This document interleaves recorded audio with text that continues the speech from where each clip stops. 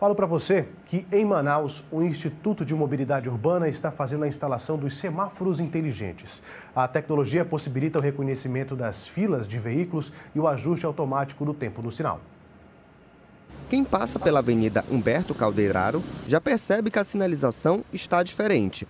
Por aqui, os semáforos inteligentes já estão funcionando. Esse novo equipamento consegue fazer a leitura do fluxo de veículos em uma via movimentada isso possibilita que ele ajuste automaticamente o tempo dos semáforos e diminua as retenções no trânsito.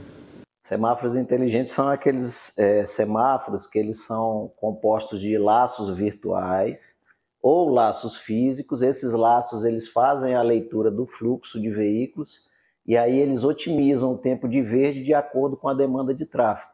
Então, se tiver muitos veículos na caixa, ele vai dando um tempo maior de verde. À medida que a, a, os veículos diminuem, ele dá um tempo menor de verde, corta e abre o tempo para secundária. Esse é mais ou menos o princípio de funcionamento dos semáforos inteligentes que a gente está implantando em Manaus.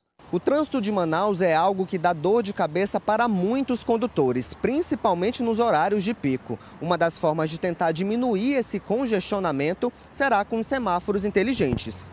Este especialista explica o que pode ser feito para que esse novo serviço funcione corretamente em uma cidade como Manaus. Não basta ter a iluminação vermelha ou verde, não.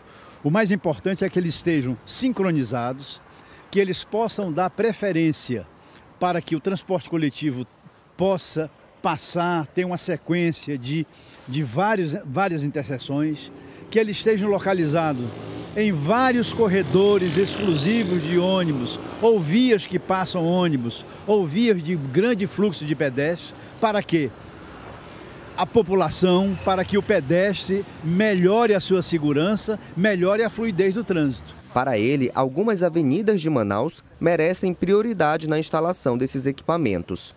A Constantino Neri, a Djalma Batista, a Estrada do Aleixo, a Noel Núcleos, é, é, é, a, o V8, a Estrada da Ponta Negra. As, os principais corredores eles necessitam que se tenha uma sinalização semafórica sincronizada, que se tenha monitoramento eletrônico para controle de velocidade.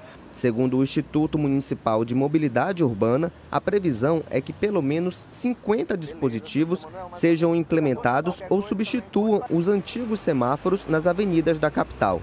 Esses 50 cruzamentos eles devem ser priorizados, é, principalmente nas vias que têm tráfego de transporte coletivo.